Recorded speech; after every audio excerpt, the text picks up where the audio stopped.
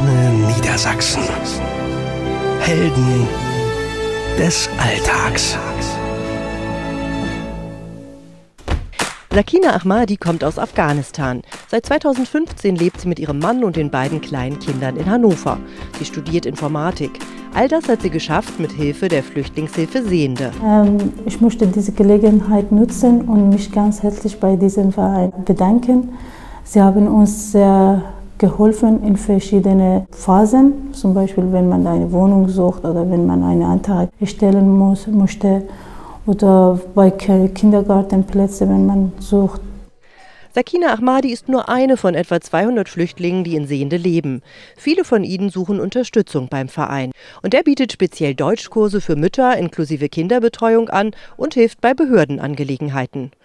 Das heißt Schriftverkehr hauptsächlich inzwischen mit dem Jobcenter, mit den Krankenkassen, mit Ausbildungsstellen. GEZ war heute Morgen jemand da. Wie geht das? Wo mache ich mein Kreuzchen? Was muss ich hier ausfüllen? Ortrud Mall und Eseldin Mohammad sind zwei der Ehrenamtlichen.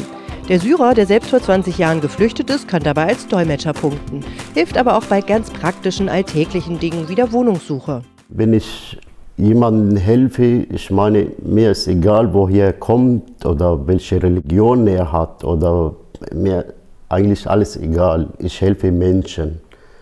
Und diese Freude in den Augen, wenn ich sehe, dass so einer glücklich ist, ohne Danke zu sagen, das freut mich sehr. Also wir sind selbst äh, als Familie oft umgezogen und waren dann immer froh, wenn wir Nachbarn hatten, die uns quasi an der Hand genommen hat und haben gesagt, hier, wenn du so fährst, kommst du da äh, schneller zum Ziel. Ja, es sind unsere Neubürger und wir heißen sie willkommen.